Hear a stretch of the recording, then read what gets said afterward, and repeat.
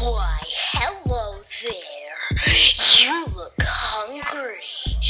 Why don't you try some KFC?